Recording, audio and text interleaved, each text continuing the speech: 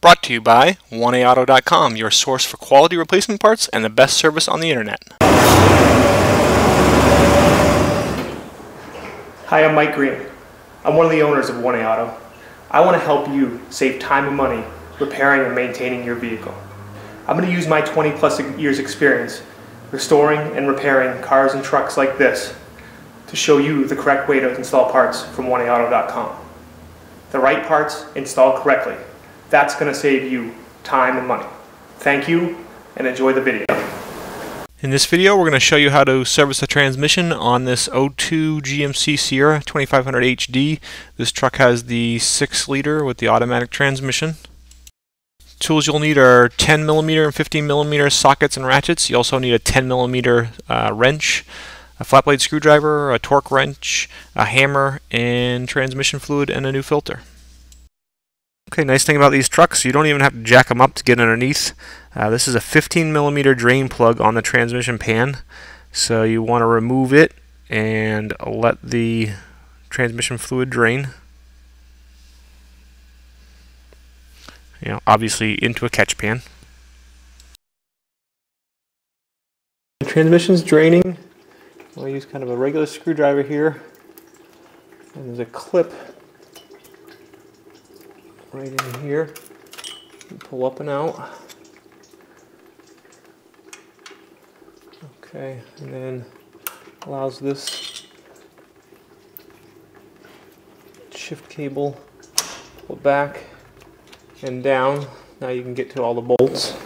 I'm gonna put my plug back in and make sure whenever you reinstall a plug, always tighten it up be sure. Okay, so I'm going to fast forward removing all these bolts. These are 10 millimeter bolts, uh, and they're all pretty easy except for the ones in the rear near the transmission mount. You actually need to use a, a 10 millimeter wrench, um, and it's kind of a squeeze, but you can get in there. It's really the hardest part of this whole thing is reaching those two uh, rear bolts near the mount. Near the mount, it's just a lesson in moving a small wrench around.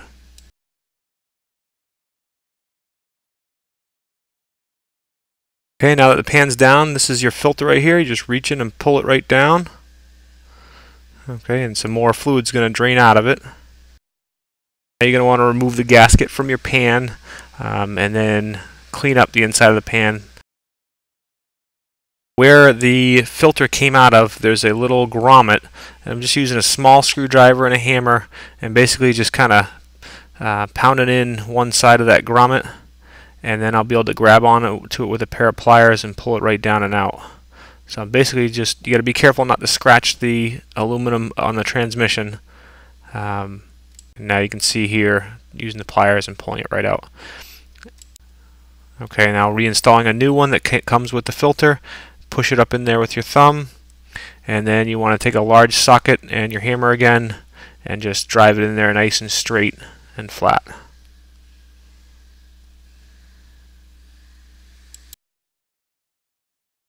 Okay, now you're ready for your new filter. Basically just push it up in there and the transmission sucks the fluid through the filter so nothing but suction and that grommet hold it in. Okay, now I'm just going to take a cloth and wipe around the edge of the uh, transmission. You don't have to wipe down inside the transmission at all, just around the edge. Here's my pan. Okay, you can see I've cleaned it all up.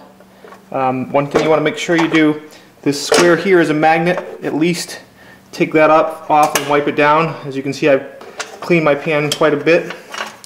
And then what I've done is I've got my gasket on and I've put, put four bolts all the way through and the rest of my bolts I just kind of fed through a little bit. So now I can put my pan up and in by the harnesses back here.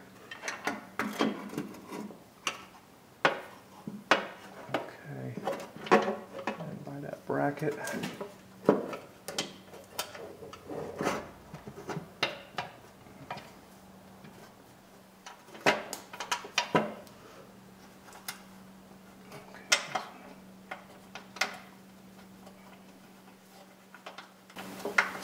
Okay, so basically what I'm going to do is I'm going to just push it up in there and get all the bolts started by hand. Just make sure you don't cross thread anything, be careful.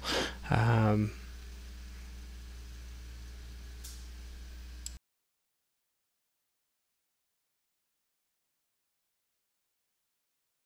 Okay, now what I'm doing right here is I'm just tightening them up preliminarily. Uh, these things you don't want to be that tight, uh, only about uh, probably 7 to 8 foot-pounds. So, and here I'm going with the torque wrench, and you can see I'm going to kind of go, um, you know, kind of opposite. I'll do one on one corner, another on another corner, and then just kind of keep uh, moving back and forth. And then once I do them all that way, I'll actually start at one corner and just go right around and make sure that I hit all of them. Um, so that's the best way to do it. Torque them up first, going back and forth, and then just check them all by going right around. And obviously the little ones up near the front, um, you have to do with a wrench, and I just get them as tight as I can with the wrench, and that's usually a pretty good setting.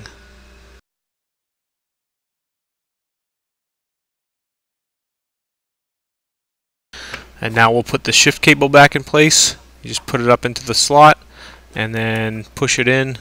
And you might need to shift the gear of the transmission a little bit. Um, push it in and then push that little U-shaped clip down onto and to hold so it holds everything in place. Okay so back up top we'll pull the dipstick out and you know, wipe it down, get any of that old transmission fluid off, and then we will put in two quarts of fluid, uh, having a funnel like this, nice and long, uh, with the smaller end, so it goes right into the tube, uh, makes it easy. We'll put a couple of quarts of transmission fluid in, make sure it's the st style that's recommended for this vehicle. And after we put in two quarts, we get a reading on the dipstick. So at this point, you can start it up um, put the car you know, the, or the truck uh, put it into reverse, drive it a little bit, put it in forward, drive it, make sure everything's working pretty good. Uh, then you want to get the transmission warm, and we'll get to that. So now we'll have the truck running and check the oil, and we can see that uh, it may have read full when the truck was off, but now it's down um, probably a couple quarts. And basically, we ended up putting in four quarts into this truck um, by the time it was full. So you always want to top off the transmission fluid and you want to check the transmission fluid when the vehicle is running uh, and the transmission is warm and it's in park. So you can see it's down there. So we're going to add another half a quart of uh, fluid. And once we do that, then we'll road test it, drive it, you know, after 20, 30 miles, check your transmission fluid again. Uh, again, check the fluid when the engine and the transmission are warm and it's sitting level and in park.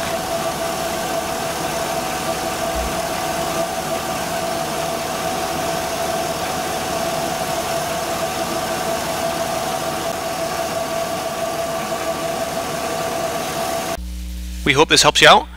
Brought to you by www.1aauto.com, your source for quality replacement parts and the best service on the internet. Please feel free to call us toll free 888 844 3393. We're the company that's here for you on the internet and in person.